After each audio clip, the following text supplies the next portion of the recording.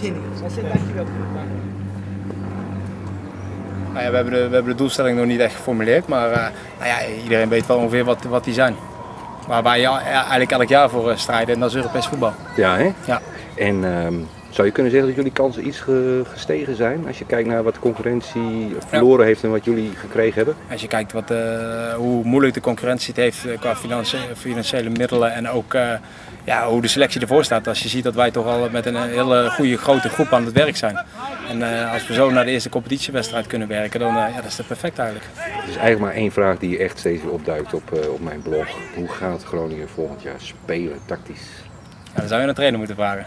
Even een tipje van de sluier? Of je weet het echt niet? Ik, ik zou dan Nederland zelf gaan kijken wat dat betreft. Je ziet het heel veel, denk ik, de manier van spelen, hoe wij willen gaan spelen. Zie, jij, zie je eigenlijk meer terugkomen in het, in het internationale voetbal. Ja. Toch met, Je bedoelt neem ik aan de goede kant van het Nederlandse spel? Ja, kijk, het is, het is, kijk, de goede kant, het is wat, uh, wat controlerender wat Nederland zelf dan nu speelt. Hè? Wat zakelijker en, uh, en dat kan ook heel mooi voetbal zijn.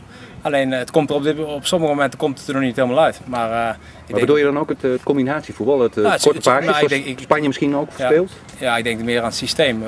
Ik denk dat je daarop doelde van hoe gaan we spelen. Iedereen, elk team wil aantrekkelijk voetbal spelen en herkenbaar voetbal spelen. Ik denk dat het allerbelangrijkste is, dat het publiek weet van nou, Groningen staat, staat voor dat spel. En ik denk dat, uh, dat de trainer dit, uh, ja, dat ook wil terugzien. En de mouwen opstropen?